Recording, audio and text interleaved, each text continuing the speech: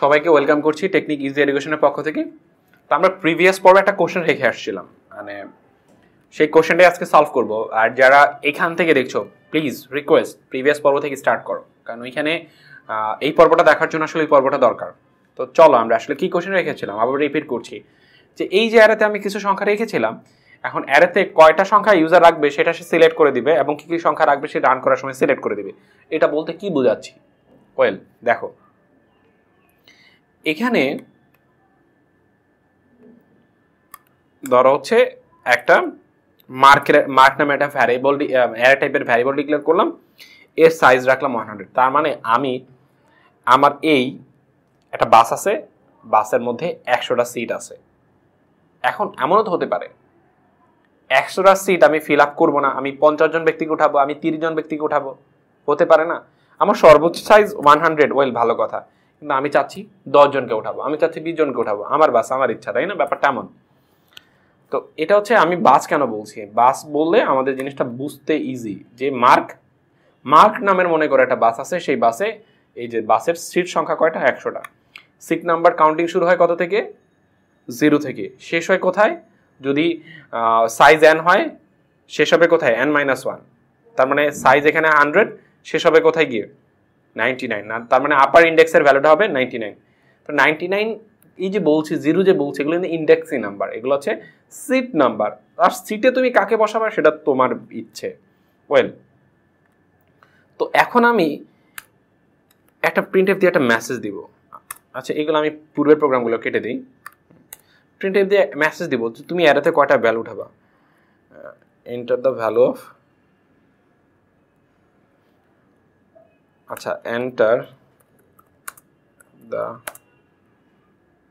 নং of value enter the নং of value B L value in R A double R A Y আচ্ছা এরাতে তুমি কয়টা ভ্যালু উঠাবে সেটা তুমি বলো স্ক্যানএফ স্ক্যানএফ পার্সেন্ট ডি আচ্ছা স্ক্যানএফ পার্সেন্ট এখানে ধরো হচ্ছে যে পার্সেন্ট ডি সেই ভ্যালুটা নিয়ে রাখব অ্যান্ড সাইড রাখব এনে এই যে অ্যান আমি রাখলাম অ্যানকে কি আমি ডিফাইন করে দিছি?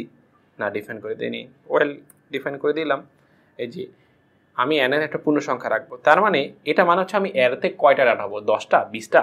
সর্বোচ্চ সাইজ কিন্তু একশো আছে। একশোর বেশি উঠাতে পারব না কিন্তু। তাই না?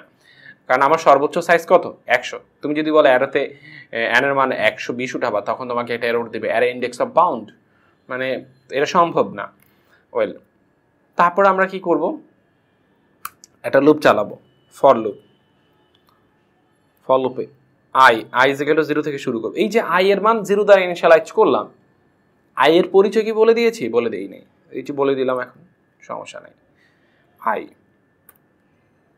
less than equal N N কেন? আমি যে সং আমি যে কয়টা ভ্যালু উঠাতে চাচ্ছি মানে আমি যদি দশটা ভ্যালু উঠাতে চাই, বা দশটা পার্সনকে উঠাতে চাই, তাহলে সিট নাম্বার কাউন্টিং হবে কত থেকে? মানে জিরো থেকে ওই সংখ্যার পূর্ব অবধি, তাই না? এই জন্য এই যে জিরো থেকে ওই সংখ্যার পূর্ব অবধি। তারপর এদের থেকে এক এক করে বাড়বে। কি করব?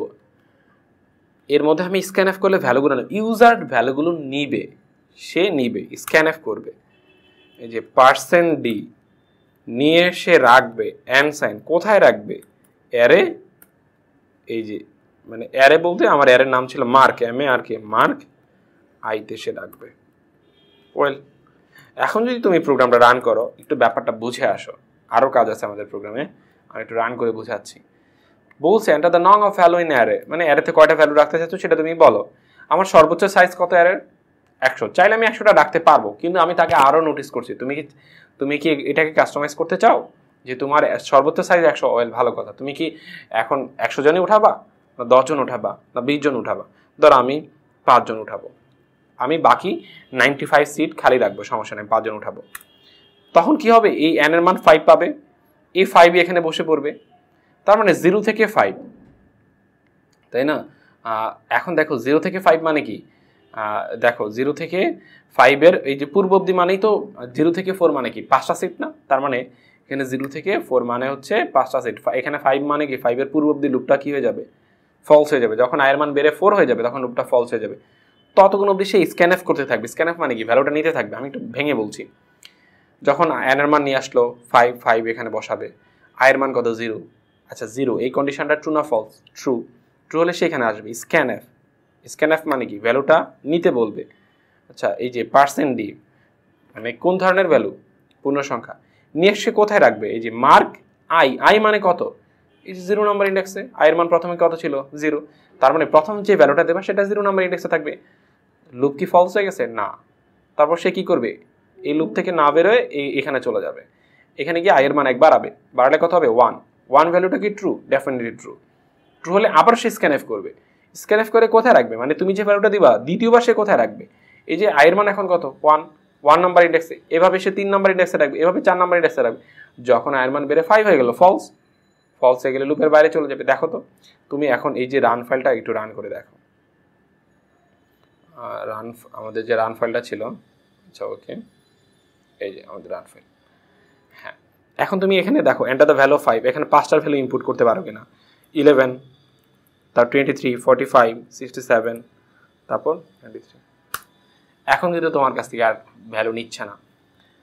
কারণ হচ্ছে যখনই আয়ের মানে বেড়ে ফাইভ হয়ে গেছে, তখন এই লুপটা ফলস হয়ে গেছে, তখন এই যে প্রোগ্রামটা টার্মিনেট করে দিছে এক্সিকিউশন টাইম দেখাচ্ছে। যে এখানে কটা ভ্যালু আছে? এক, দুই, তিন, চার, পাঁচ। এই পাঁচটা ভ্যালু তো আমরা নিলাম ইউজারের কাছ থেকে নিলাম আমি প্রেস করে দিলাম আসলে। এখন কোন কোন ভ্যালু দিব সেটা ডিপেন্ড করে আমার উপরে। সবসময় যে এই কটা ভ্যালু দিতে হবে এমন না কিন্তু। আর আগের প্রোগ্রামটা ছিল ফিক্সড যে ভ্যালুগুলোকে আমরা শুরুতে ইনিশিয়ালাইজ করে রেখেছিলাম। আর এখন রান করার সময় ইনিশিয়ালাইজ করব। চাইলে এই যে দেখো, আমি এখন করতে পারি এন্টার দ্য নং অফ ভ্যালু ইন অ্যারে, আমি অ্যারেতে দশটা ভ্যালু রাখব, এই যে দশ। এখন আমি ধরো প্রথমটা রাখব একশো পরেটা রাখব দুইশো পরে রাখব ধরো তিনশো পরে চারশো, পাঁচশো, ছয়শো, সাতশো, আটশো, তাই না? তারপর ধরো হচ্ছে নয়শো, তারপর ধরো এক হাজার। এই দেখো, দশটা ভ্যালু রেখেছি কিন্তু আমি। তো এই যে দেখো, তুমি কিন্তু তোমার মনের ইচ্ছা মতো চুজ করতে পারছ, তুমি অ্যাডাতে কয়টা উঠাবা। এই জন্য আমি এই নোটিসটা দিয়েছি যে ইচ্ছা মতো আমি উঠাইলাম এবং সেই ভ্যালুগুলো আমি আমার মনের ইচ্ছা মতো যখন খুশি তখন নিতে পারব। ওয়েল এখন এই যে ভ্যালুগুলো আমি নিলাম, এই ভ্যালুগুলোকে আমি আউটপুটে শো করব। নিলাম, নেওয়ার পরে এগুলোকে আমি আবার আউটপুটে দেখাবো। তো দেখানোর জন্য কি? এগুলো কোন কোন ইন্ডেক্স আছে? একইভাবে আমি এই যে এখানে একটা প্রিন্ট এফ মেসেজ দিব P R I N T F printf your array double R array output output value A double R A double R A Y array output result R E S U L T result এর output result আচ্ছা এখানে একটা back slash hand দিচ্ছি, যা থাকবে নতুন line থেকে থাকবে। তারপরে এই যে আমার এই এই পার্টটুকু এখন কপি করে, এখন আমি যা যা ইনপুট করলাম সেগুলো আমি আউটপুটে শো করে দেব। কারণ এই পার্টটাকে আমি কপি করলাম, নিচে পেস্ট করলাম পেস্ট করলাম, আর এখানে আমি এখন কি করব? আমার ওই ভ্যালুগুলো আমি প্রিন্ট করব প্রিন্ট এখন প্রিন্ট করার জন্য আমরা জানি এখানে অ্যানসাইন হবে না, কোথা থেকে প্রিন্ট করব? আই থেকে প্রিন্ট করব। ওয়েল দেখো তো, আমি যা যা ভ্যালু দিচ্ছি, সেগুলো প্রিন্ট করছি কিনা। আমি আর এতে করে রাখব, ধরো পনেরোটা ভ্যালু রাখব। এক, দুই, তিন চার, পাঁচ, ছয়, সাত। সিকোয়েন্সলি রাখতে হবে এমন কোনো কথা নেই। আবার ধরো বারো, চোদ্দ, ষোলো, আঠারো। ধরো সতেরো দিয়েছিলাম, ধরো উনিশ, না? Twenty three forty six three তো বলতেছে ইউর অ্যারে আউটপুট রেজাল্ট, এই যে ওয়ান, টু, থ্রি ফোন নাম্বারের মতো হয়েছে হ্যাজার্ট হয়ে গেছে। কেন হলো এমন? একটা সিকোয়েন্সলি সুন্দর করে কেন দেখাল না? কারণ আমরা ব্যাকস্ল্যাশন এখানে ব্যবহার করি না আউটপুটের ক্ষেত্রে, এই যে, এই জায়গাটা তুমি যদি এখন ব্যাকস্ল্যাশন ব্যবহার করো, তখন দেখবা এগুলো নিচে নিচে দেখাচ্ছে। কারণ প্রতিটা ভ্যালু নিচে নিচে দেখাবে। এই যে, ধরো, এখন তুমি কয়টা ভ্যালু নিতে যাচ্ছ রে? ধরো পাঁচটা এখন, পাঁচটা। বারো, চৌত্রিশ, ছাপ্পান্ন এই যে, যেই যে ভ্যালুগুলো নিলাম, বারো, চৌত্রিশ, সেই সেই ভ্যালুগুলো কি আউটপুটে প্রেস করে দিলাম। যেগুলো আমি নিয়েছিলাম, এগুলো আমি আউটপুটে দেখাই দিলাম। ঠিক না?